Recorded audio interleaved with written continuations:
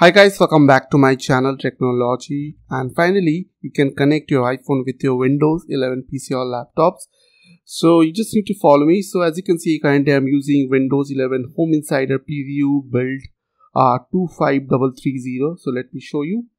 So right click on your start menu, click on settings and after open settings window I will go Windows update and if I'll click on uh, Windows Insider program as you can see I have already joined uh, Windows Insider. Let me show you. Windows Insider program Canary channel. So you have to join uh, this channel to get this update.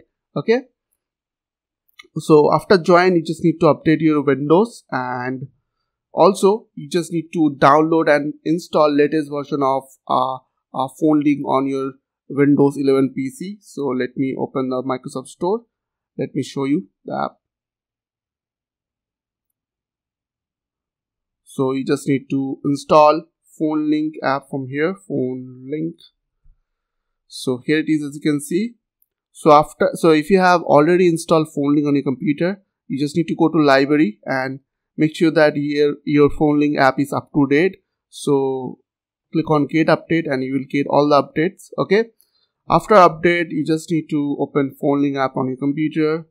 Just let me open my phone link app. And here I am getting two options. As you can see Android and iPhone. I will click on iPhone. So now you just need to go to your phone. You just need to find over here a scan uh, code scanner. After that scan this code on your computer. And after that here I'm getting pair your device open so I'll click on open. Here I just need to click on continue. And as you can see it's showing me like uh, connecting. So I just need to click on pair